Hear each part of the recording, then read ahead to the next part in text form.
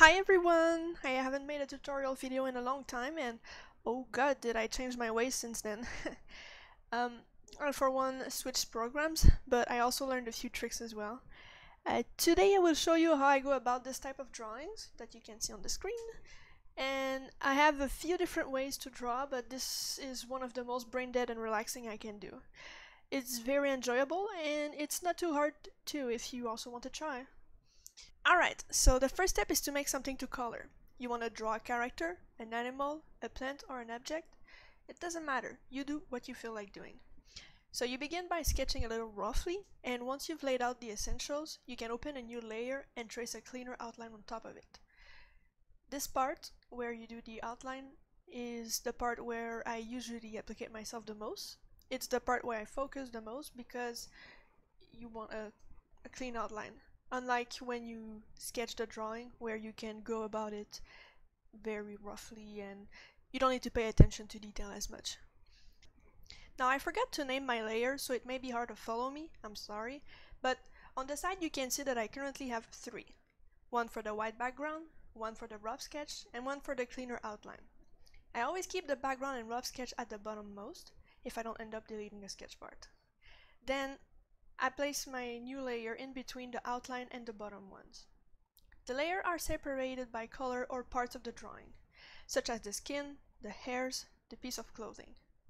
I'm aware that this method is not the fastest, it actually takes time, but it reminds me of some sort of paint by numbers and I've always found that to be therapeutic.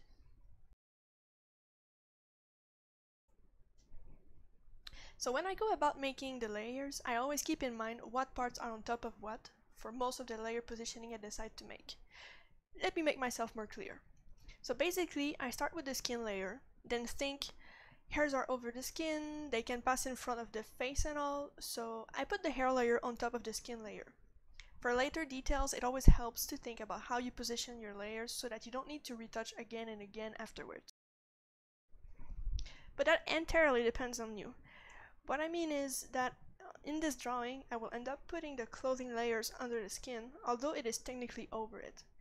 But clothes, unless it's fur, is not something that will pass over the character's skin, unless I want to adjust it later. But then again, it is entirely up to you what you want to do and how you want to figure it out.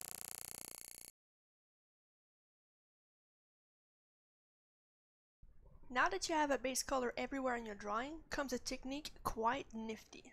So first you have to visualize your light source.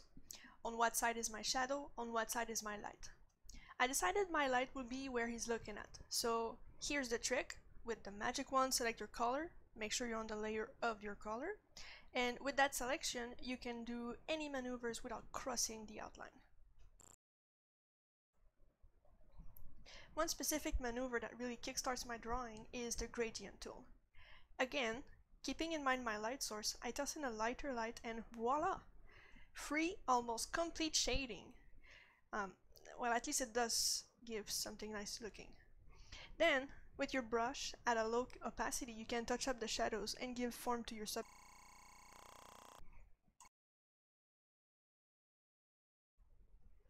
So I like to start with giving a first gradient to all of my drawing to visualize how the shadows interact together and see if I'm satisfied so that I can go in with the details.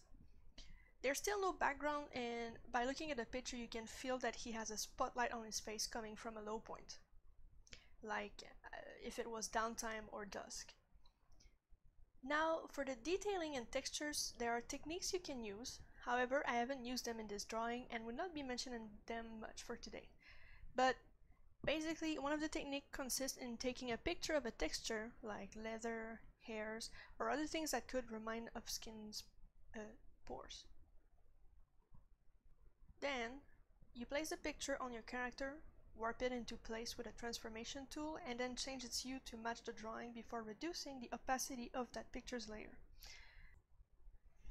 If you're ever looking for a translation to all I just said, uh, I've made a reference sheet that you can look at. Just look in the description, you'll find it there. And um, by the way, there's no shame in not knowing the terms already. Uh, I mean, we all have to start somewhere. And also, Don't worry if I skip parts of the drawings, the full time-lapse is already available.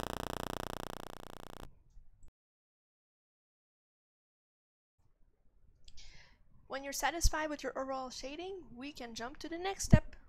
Okay, so when you don't want to invest too much time doing a background, here's a quick way to get something satisfying regardless.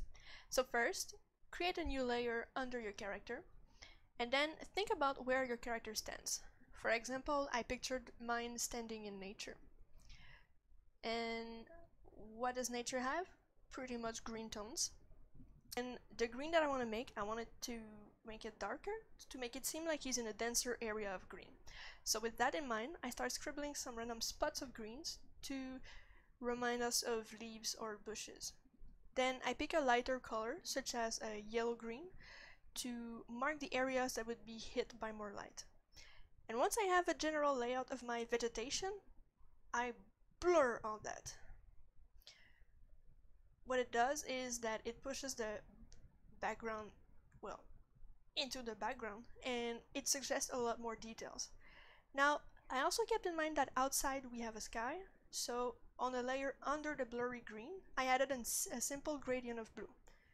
And to top it all off, I made a layer over the green and added a yellow source of light with small trims to show where it reflects the most, and then blurred that as well. And there you have quite the result in no more than 4 minutes.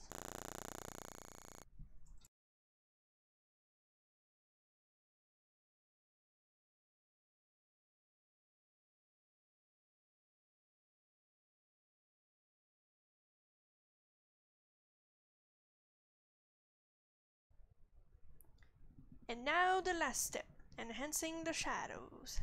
So what I like to make is a layer right under the outlines that I set to multiply.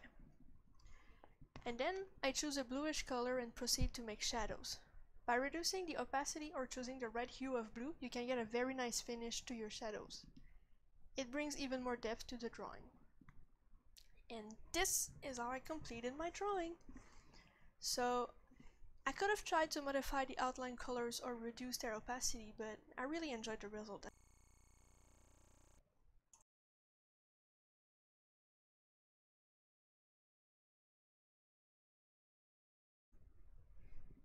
I hope you do too, and if that was helpful, well, then I'm glad. Have a nice day, and some good